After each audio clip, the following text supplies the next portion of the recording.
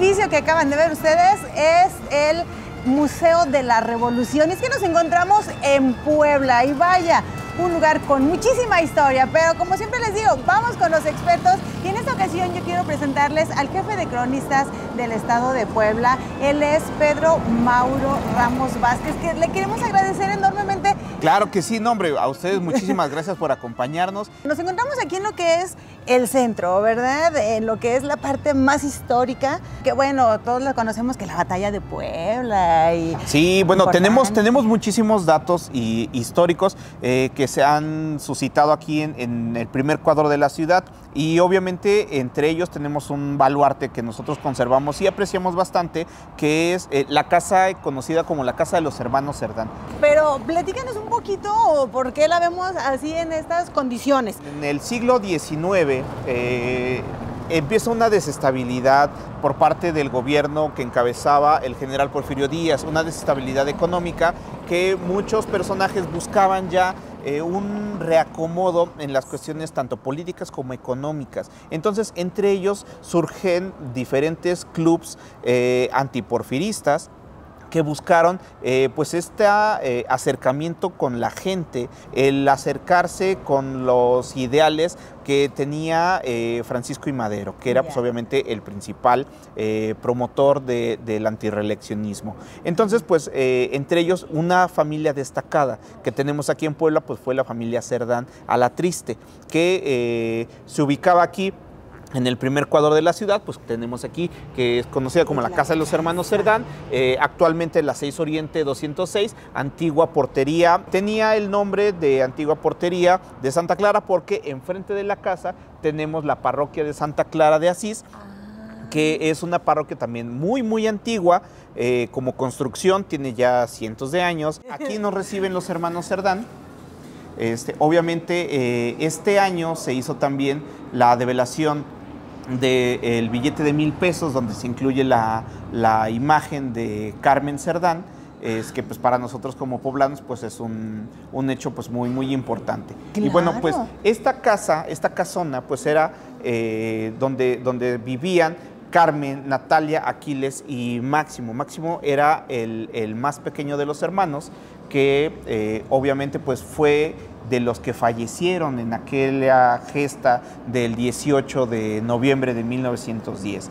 La Revolución Mexicana se tenía contemplada que iba a dar inicio un 20 de noviembre. Sin embargo, aquí en Puebla, dos días antes, eh, después de un cateo que se hace a la casa, porque ya se sabía que eh, se iba a tener armas eh, y ya se estaban preparando para este 20 de noviembre, el jefe de policía hace el cateo de la casa y obviamente pues la familia busca dar a conocer a los vecinos que pues estaban ya siendo atacados por la, por la policía. En aquel entonces pues vamos a conocer parte de cómo se encontraba eh, pues eh, la casa en su antigüedad. En esta casa la familia Cerdán eh, se dedicaban a lo que era la venta de zapatos. Ah. Aquiles en la refiega de, los, de los balazos prácticamente que desde, desde el techo de la parroquia de Santa Clara que mencionamos que tenemos aquí enfrente, hacían hacia las ventanas y hacia la casa o sea que se subieron al templo. Sí, claro, y desde se subieron ahí empezaron a disparar hacia aquí. Sí, sí, sí, sí, así es. Entonces, pues, Aquiles, eh, él se esconde en un sótano que se tenía. Aquiles, eh, por alguna tos eh, o algunos malestares, ya no aguantó, tuvo que salir y al momento de salir fue que lo encuentran este, y le se están un, un disparo que hace que pierda la vida. Ah. Francisco y Madero, él no, en un inicio no estaba buscando el derrocamiento de, Porfirio. Díaz. Lo que él buscaba era tener un diálogo para poder, para que la gente tuviera esta posibilidad de ser votada para eh, ocupar el cargo de la vicepresidencia. El árbol genealógico de la familia eh, Cerdán, tenemos ahí el caso de que el, el abuelo de los hermanos Cerdán fue también gobernador de Puebla. Este, y aparte de gobernador, él también participó en la intervención francesa en la lucha eh, de, de, 1862, pero él ya no, ya no alcanzó a participar en esta batalla porque él muere unos meses antes. Pues tenemos aquí en el museo eh, algunas referencias de, de, cómo es que era la vida en aquel 1910, en el que pues, los hermanos Cerdán tuvieron esta participación que a los poblanos pues, nos llena de, de tanto orgullo. Aquí tenemos una representación de cómo era quizá eh, pues el, lobby o la entrada de la actividad económica que tenían los hermanos Cerdán, que es una zapatería, y tenemos algunos eh, ejemplos del zapato y el calzado que se utilizaba en aquella época de principios de siglo. ¡Ay! Esos eran como el tipo de moda que había. sí, exactamente. Es la, moda o, o, los zapatos que se utilizaban en aquella época. Parte del trabajo de los hermanos Cerdán que era este, pues la zapatería que. O sea, no solo los vendían, ellos hacían los zapatos y los vendían. Claro. Uno de los despachos de, Aquiles Cerdán, este, o de Miguel de Cástulo Alatriste, que fue su, abuelo, donde eh, tenemos, pues, obviamente, eh, los escritorios que se utilizaban en aquella época, que son de verdad bellísimos. Era una época eh, muy, muy elegante, claro que sí. Tenemos ahí la, la única fotografía en la que está Aquiles Cerdán junto con Francisco y Madero, en la que él vino este, para conocer obviamente las actividades del club eh, Luz y Progreso que, tenía, eh, que tenían los hermanos Cerdán. Pensamos que así tenía este, las actividades, obviamente, las hermanas Natalia y Carmen, este, con los bordados. Los bordados que eran muy de las mujeres. Tenemos aquí con, la, con las recámaras de aquella época, algo que era muy, muy conocido, pues eran estas camas de latón que eran la moda, por decirlo así, en aquel entonces de las familias. Y para esto lo acompaña también una fotografía ah. Original de las habitaciones de, este, pues de Carmen y de, y de Natalia. Y obviamente, pues, cómo, cómo este, quedaron después de los sucesos del cateo. Es porque obviamente decir, como que se ven cosas como que tiraron. Sí, claro, buscaron, buscaron absolutamente todo lo que era este, el armamento, este, municiones y todas eh, las cuestiones que, que, había. Los vestuarios, ¿verdad? Sí, los, los vestuarios. de aquella época. Sí, porque incluso una de ellas aparece con un sombrero, ¿verdad? En el... Sí, claro. Sí, en sus fotos. ¿Ahí están sus restos? Aquí tenemos sus, sus restos. Y esta es la, recreación este, de cómo era el cuarto o el sótano de doble fondo de donde Aquiles Cerdán estuvo. ¿Dónde se escondió? Donde se escondió. Cualquier mínimo ruido, pues generaría... Lo iba a delatar. Lo iba a delatar, que obviamente pues estuvo por varios días. Pues Tenemos aquí una fotografía, mira, de cómo es ah. el, lugar de, de donde él se escondió.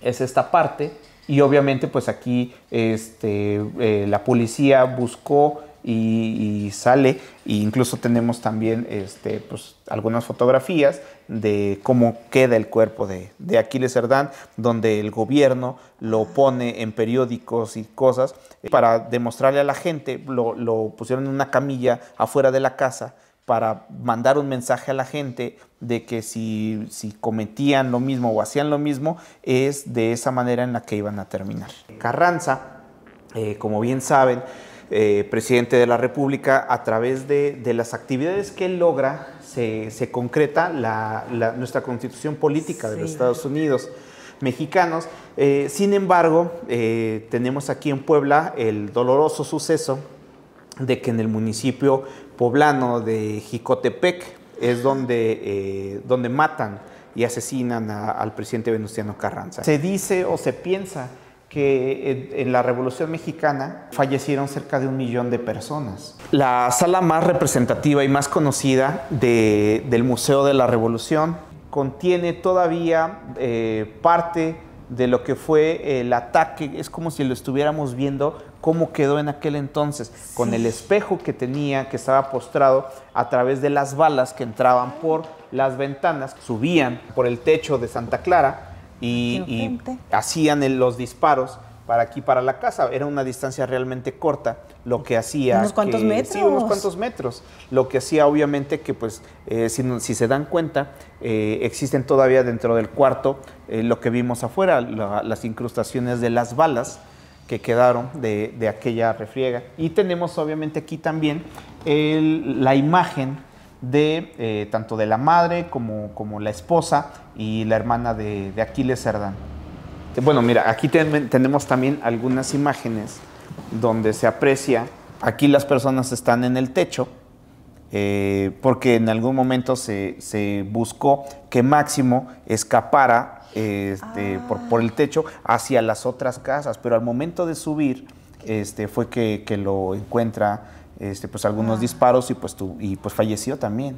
Hay un, hay un caso, hay un caso muy, muy, muy curioso. Carmen Cerdán sale, eh, con, sí sale y con un rifle en mano este, comienza a gritar a la, gente, vengan, tenemos armas, eh, ayúdenos. Qué valiente. Sí, este, valiente. Sí, claro, mientras obviamente había eh, oficiales afuera, este, ya esperando también para asestar eh, pues el funesta bala que, terminara la vida, pero pues ella no, no, falleció. En aquel entonces, al no contar con, con la prensa como en nuestra actualidad, este, pues hacían gala, como comentamos hace un momento, los ilustradores, de platicar cómo es que se fue generando eh, todo lo que aconteció el 18 de noviembre con eh, pues el terrible tiroteo que se dio en aquella, en aquella eh, fecha tan, tan importante para nosotros los poblanos. Podemos ver aquí, por ejemplo, imágenes de cómo es que muere Máximo Cerdán, el más joven de los hermanos, y obviamente pues el patio con las personas que estaban ahí. Entonces los agarraron en un momento en que aquí había varias gente reunida. Sí, sí, sí. O sea, llegaron en un momento especial, dijeron, están reunidos y es momento de atacar, disparen con todo y que mueran todos los que están dentro. Sí, contamos aquí con, imágenes de cómo eh, se considera eran las reuniones del club antirreeleccionista Luz y Progreso, encabezado por Aquiles Cerdán. Si podemos darnos cuenta, están algunos personajes de importancia, imágenes de, lo que se conoció como los sangrientos sucesos en Puebla, eh, de cómo quedó la casa, podemos darnos cuenta, digamos, los, locales que tenían y este, lo que encontró la policía.